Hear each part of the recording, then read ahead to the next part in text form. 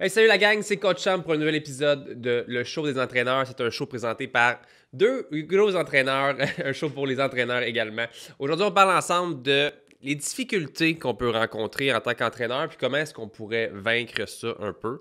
Euh, je pense que, bon, dans les derniers épisodes, on a parlé de plusieurs choses. Premièrement, Gab, ça va? Ça va, On va commencer par dire ça. Moi, Ouais. toujours avec mon acolyte Gab, qui est là, coach Gab. Je ignoré, je dois avouer. Non, non, j'étais juste parti sur mon sujet un matin. Juste pour dire euh, que je pense qu'il y a beaucoup de bien dans le métier d'entraîneur. Il y a beaucoup de choses. On a parlé beaucoup de ça dans les derniers moments. Comment avoir une entreprise qui fonctionne, comment trouver des clients, comment avoir une niche. On a parlé. Mais il y a plusieurs difficultés aussi, je pense, qu'on peut facilement répertorier en tant qu'entraîneur. Premièrement, trouver des clients, je pense, c'est quelque chose de difficile. Mais aujourd'hui, on va se concentrer sur trois principaux sujets que je pense qui vont être intéressants. Premièrement, je veux qu'on parle de. C'est un métier que c'est facile à avoir l'air peu crédible. On s'entend qu'il y a beaucoup, beaucoup de gens qui sont entraîneurs. Il y a beaucoup de gens sur Instagram qui montrent leur chose. On a parlé aussi dans les derniers podcasts, on a parlé un petit peu d'études, on a parlé de, de certification pour avoir de la crédibilité. Mais je pense quand même qu'on est dans un monde qu'il y a tellement d'entraîneurs que c'est facile d'être être non crédible là-dedans. Comment penses-tu qu'en tant qu'entraîneur, on peut avoir l'air plus crédible que d'autres dans un métier où il y a autant d'autres personnes qui font la même chose? Ouais. C'est sûr que le rendu, il y a beaucoup de façons. C'est un gros sujet quand Ouais. même. Euh, je vais commencer par une phrase que j'aime beaucoup dire sur l'entraînement, c'est tous les chemins mènent à Rome. Ouais. Donc, toutes les façons possibles sont possibles pour perdre du poids et prendre la masse musculaire. Tu peux être le meilleur entraîneur sur la terre ou tu peux être le pire sur la terre puis quand même donner des résultats parce que tous les chemins mènent à Rome tant Ouais. que tu te donnes. Euh, je pense que quelque chose au niveau de la crédibilité, c'est justement un, donner des résultats. T'assurer que si tu es capable de montrer que ton client a des résultats avec des avant-après, avec des, euh, des testimonials, des, euh, Témoignage. des témoignages, Ouais. ça va aider au niveau de la crédibilité. Si tu as toujours des clients que, tu sais, veux pas, c'est, un, c'est bizarre comme image, mais si chaque fois tu vois l'entraîneur que des clients, les clients sont toujours overweight, ils n'ont pas de masse musculaire, Ouais. ça varie tout le temps, t'en vois jamais un qui est en shape, ça peut donner une idée de comme, oui, ok, il fait peut-être de la perte de poids, mais en même temps, j'en vois jamais un qu'on dirait qu'il est là pendant trois mois, qui Ouais. perd du poids. Il y a toujours un gros roulement. Fait que ça peut enlever au niveau de la crédibilité. Euh, une autre chose que là, c'est moi qui parle à travers mon chapeau, c'est les formations que tu as faites. Pas- oui, ça peut être le nombre, mais ça peut être aussi la qualité des formations que tu as faites. Quand tu rentres dans un bureau puis que l'entraîneur il a 50 diplômes sur le mur ou qu'il y en a deux, euh, ça peut montrer que l'en- l'entraîneur, même si ça se peut qu'il est bon, il y a peut-être beaucoup de connaissances qu'il n'y a pas. Ouais.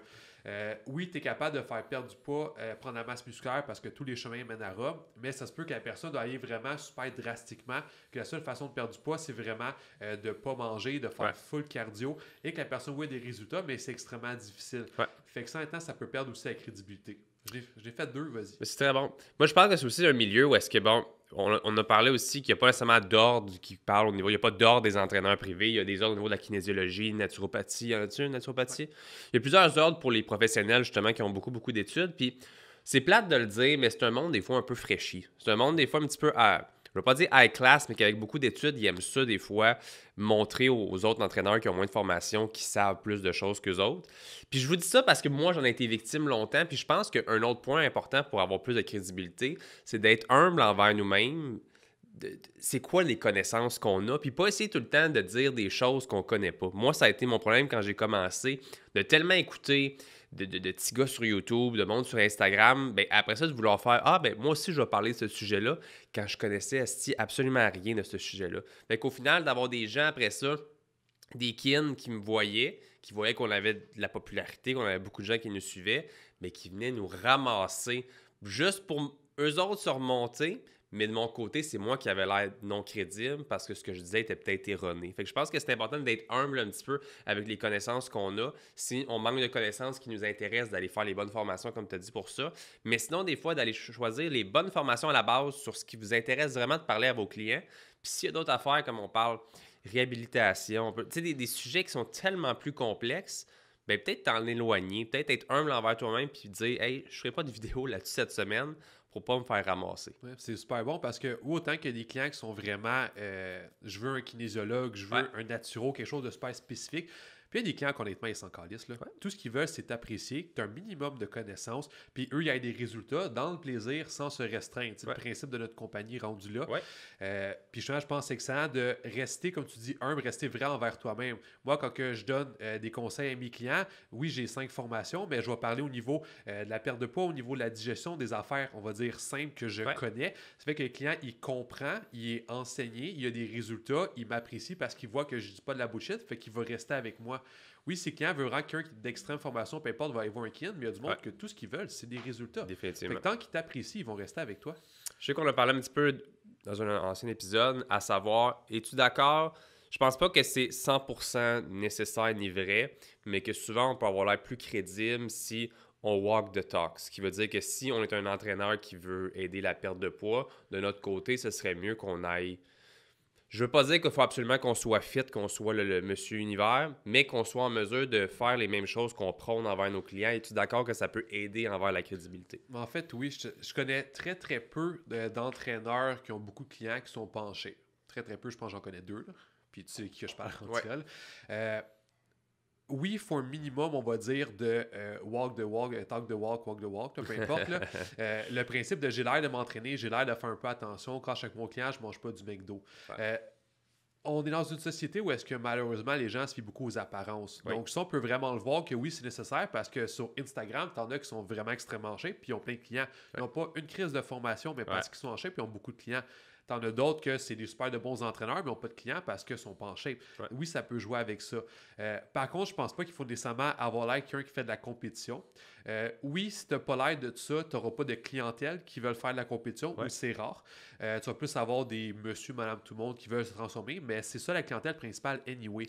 Fait que oui, tu peux pas être en shape et être un super bon entraîneur et avoir des clients, mais je pense que dans 95% des cas, faut au moins, on va dire, un minimum en shape. Ça augmente vraiment la crédibilité parce que si la personne elle veut perdre 50 livres, puis elle te regarde, puis toi aussi, tu as à perdre 50 livres, ça se peut qu'elle ne veut pas prendre tes conseils parce que c'est comme le principe de dire à un dentiste qu'il a des caries. Ça veut pas dire qu'il n'est pas un bon dentiste, mais est-ce que vraiment il suit ses propres conseils c'est meilleur à te conseiller? Ouais.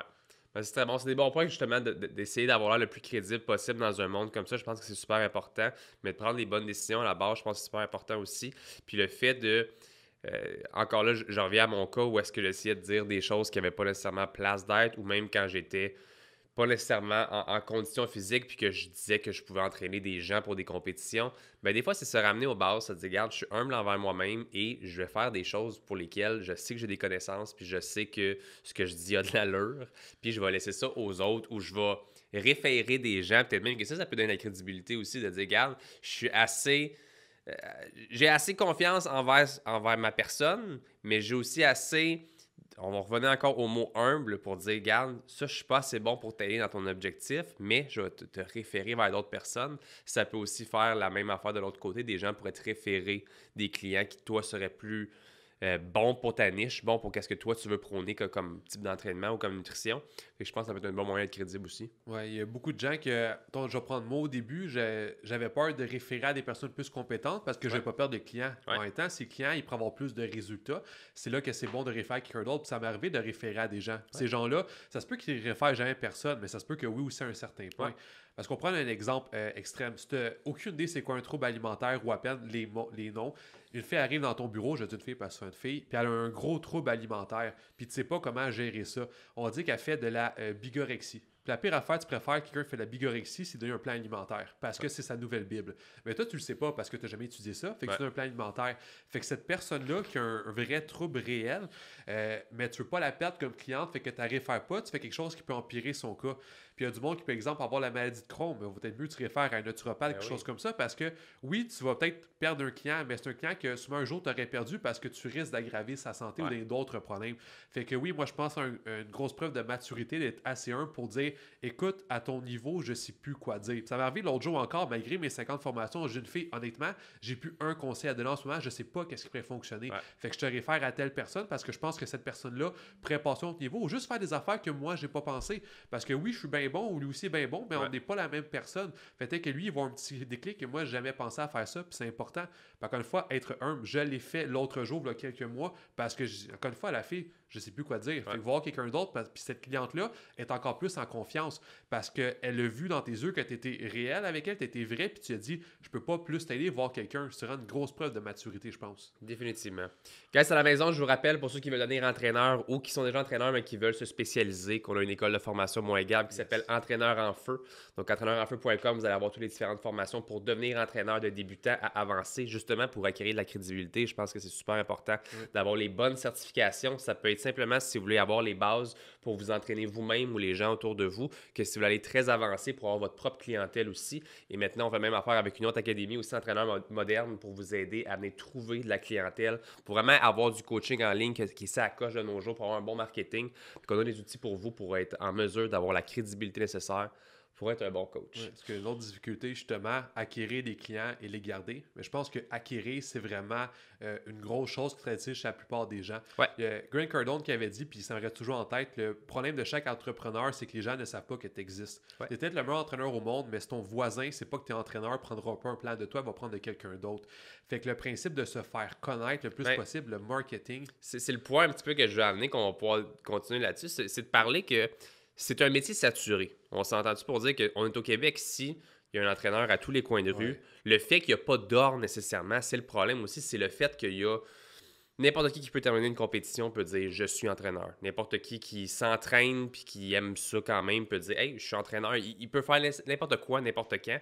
Et c'est autant une problématique qu'un beau problème. Je trouve que c'est le fun qu'il y ait autant de popularité dans ce milieu-là. C'est notre milieu, on aime ça. De mon côté, j'ai commencé comme ça, puis j'ai pas de honte de le dire que j'ai commencé sans aucune formation, puis que au final, ça m'a amené quelques clients, mais d'aller chercher mes vraies formations, d'aller chercher les bonnes notions, mais j'ai pas beaucoup plus de crédibilité.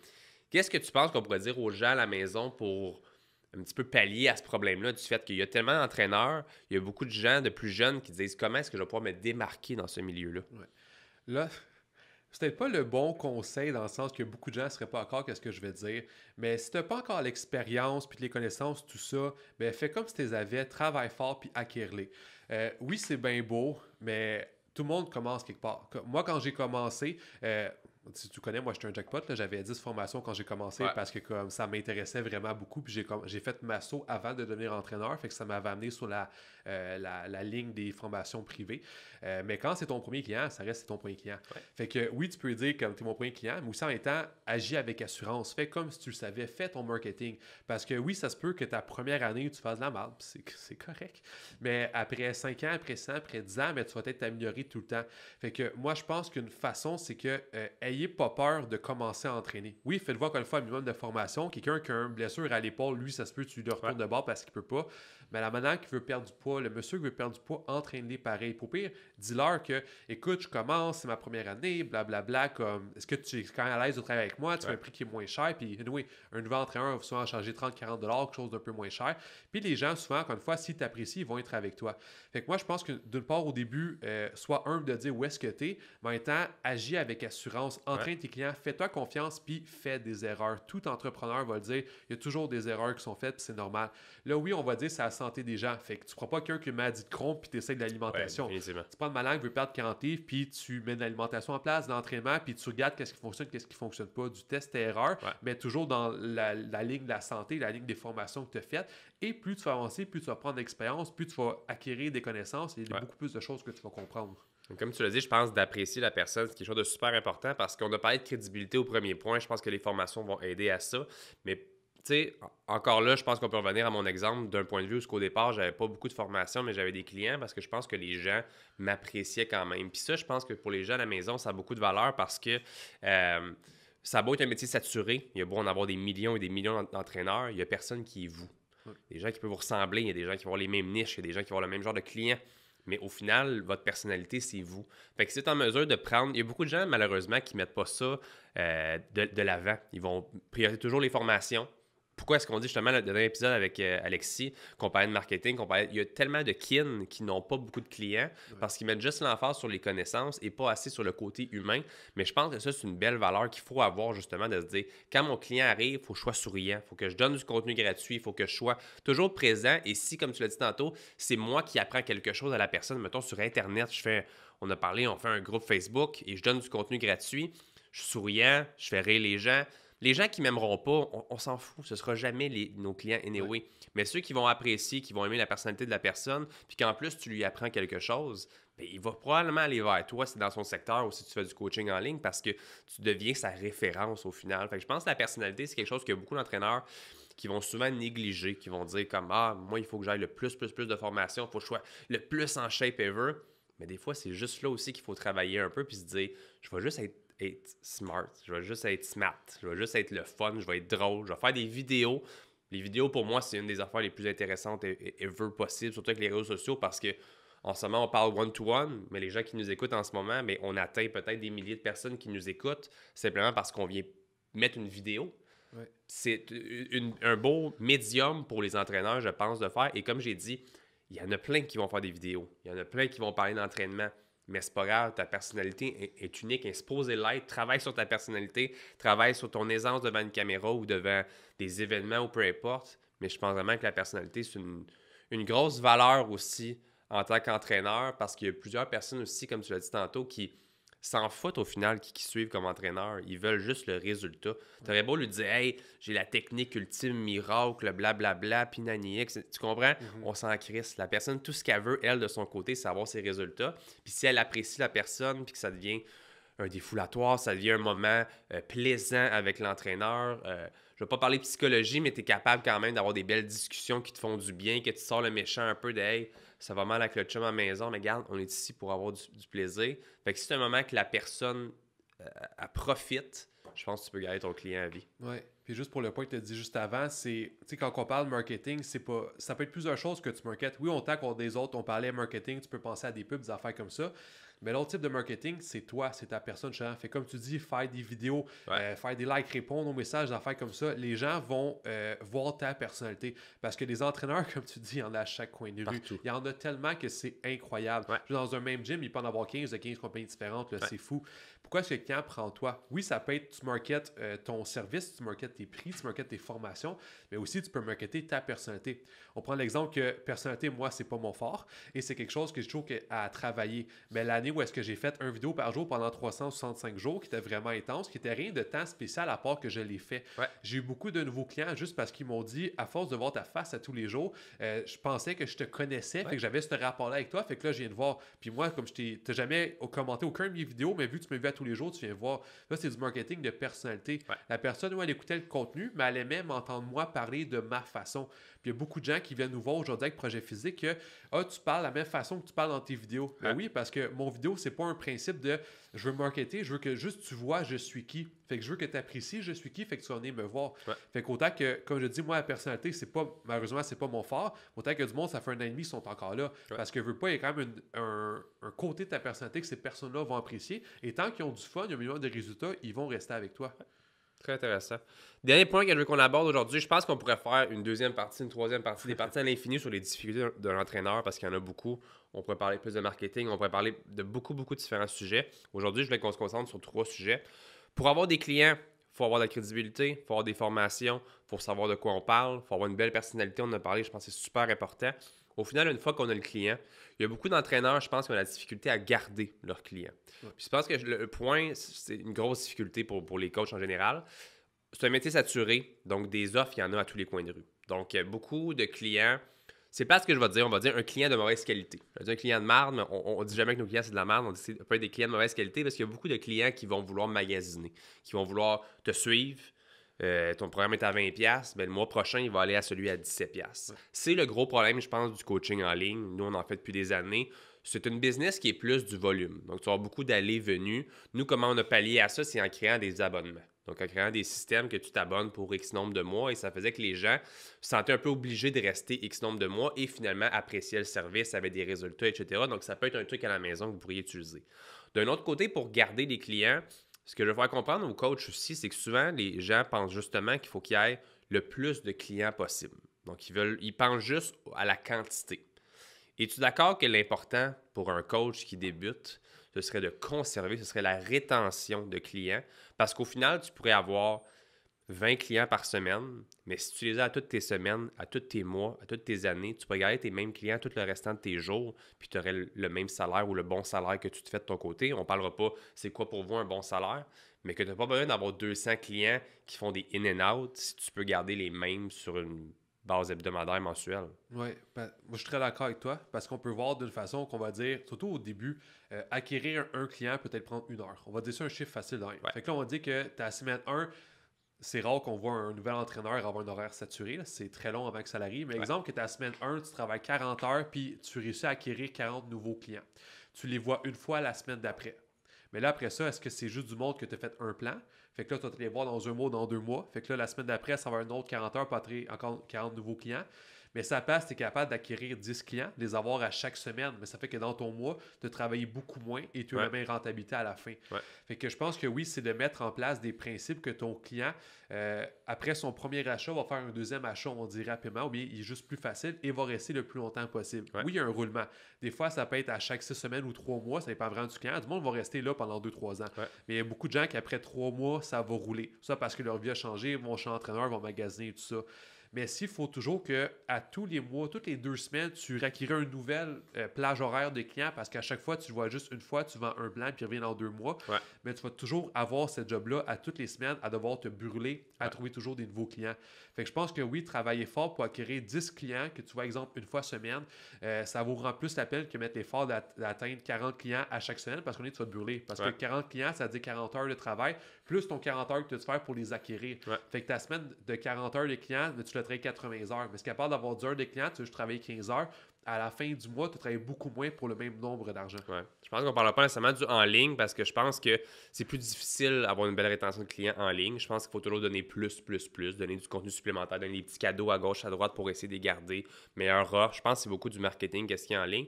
Si on parle plus du en personne, je pense justement aussi que c'est important d'essayer d'offrir le plus possible à nos clients en tout temps. Ça peut être des événements qui peuvent être mensuels, qui peuvent être trimensuels, peu importe, pour essayer de faire regrouper les gens, créer un sentiment de relation un peu là-dedans, communauté, que les différents clients peuvent se rencontrer. Moi, ça fait un an que je parle de faire ça.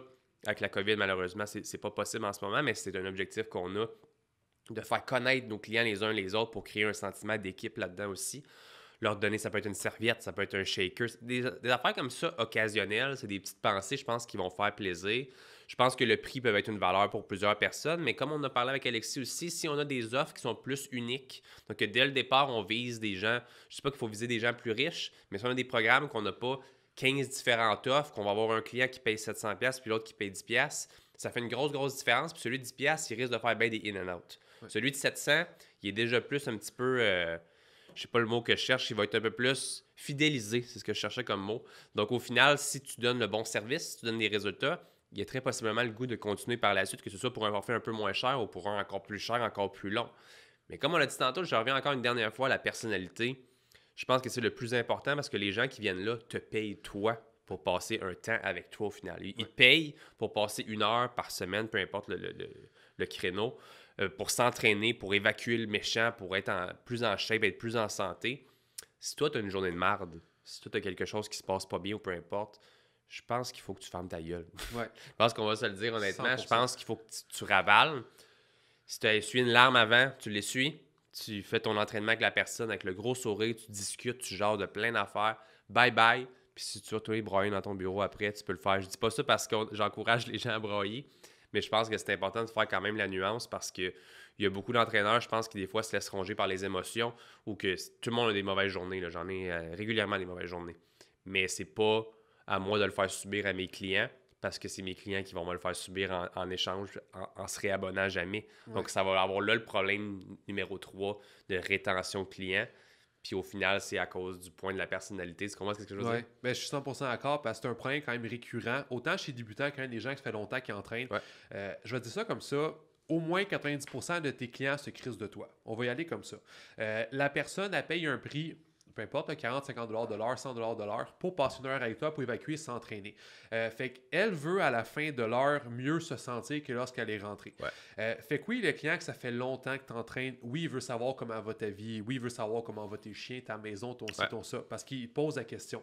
Euh, on prend l'exemple de moi, il y a peut-être un mois à peu près, ma grand-mère est morte. Mais il n'y a aucun de mes clients qui l'ont su. Euh, la première journée, ça a apparu dans mon attitude. Fait que là, là, j'ai remarqué, la deuxième, j'ai corrigé ça. Parce que c'est pas de leur crise de problème si j'ai une mort dans ma famille. Fait que la deuxième, je corrige ça, parce que j'ai remarqué qu'à la première journée, j'étais un peu plus down. Mais j'ai pas dit à un de mes clients. Après peut-être une semaine, deux semaines, il a quand même me posé la question Hey, il me semble, a deux semaines, il y a eu de quoi Fait que là, j'ai dit parce qu'il me posait la question pour le savoir. Mais mon client, qui a une crise de semaine de mal parce qu'il y a vraiment beaucoup de choses à job, il y a des problèmes à la maison, tout ça, il veut pas arriver pendant une heure et que moi, je parle de moi pendant une heure. Et ça, c'est vraiment le point que je voulais amener, que la part d'entraîneurs font ce problème-là, ce point-là. Il y a beaucoup de gens qui, pendant une heure, ils parlent de leur vie. Et le client, oui, ça se peut que ça l'intéresse. C'est correct. Mais en général, euh, tu vas le voir, le client, il te répond à peine ou il se concentre sur sa affaire parce que tu le déranges. si tu vois les indicateurs, go for it. Si tu as des questions de la part du client, go for it. Exactement. À la base. Je pense que la même chose que tu peux faire, c'est si tu veux, exemple, il y a un silence que tu veux euh, dire quelque chose, mais il faut que tu fasses quelque chose en lien avec la vie de l'autre, que lui va être capable de surenchérir. Je vais parler de mes chiens parce qu'elle a un chien, fait que je sais qu'elle va dire quelque chose elle aussi. Mais il n'aime pas les chiens, je parle de mes chiens, il va s'en calisser. Fait que je pense que c'est très important d'être capable de mettre vraiment la personne de l'avant, parler juste assez pour couvrir les silences, ou bien si la personne, tu vois, qui est plus dans sa tête, pour la faire sortir de sa tête, mais de ne pas prendre une heure de parler de soi, de parler de ses problèmes, de sa mauvaise journée, parce que la cliente n'est pas là pour ça, elle n'a pas payé pour ça. Oui, elle aime ta personnalité, mais elle te paye pour être avec toi. C'est pas ton ami que tu vas prendre une bière. Là. Définitivement. Merci beaucoup, Gab. Merci, honnêtement. c'était les trois difficultés, bon, trois des difficultés qu'un entraîneur peut, peut rencontrer dans sa carrière. J'espère que ça va pouvoir vous aider à la maison. Je vous rappelle pour les coachs ou les futurs coachs qui veulent peut-être se former, qu'on a une, école de formation pour entraîneurs, www.entraîneurenfeu.com. Ça peut vous intéresser, vous allez pouvoir aller voir toutes les formations là-dessus. Le podcast est à chaque semaine. Toujours un plaisir d'être avec toi pour le podcast. J'espère que vous appréciez à la maison. C'est disponible sur toutes les plateformes, YouTube et Facebook en vidéo. Sinon, vous avez Spotify, Apple Podcasts et plusieurs autres pour la version euh, audio. Donc, si vous voulez nous écouter euh, nos voix mielleuses dans votre voiture ou pendant vos workouts ou pendant que vous ne voulez pas entendre votre entraîneur puis que vous mettez vos écouteurs, vous pouvez le faire aussi.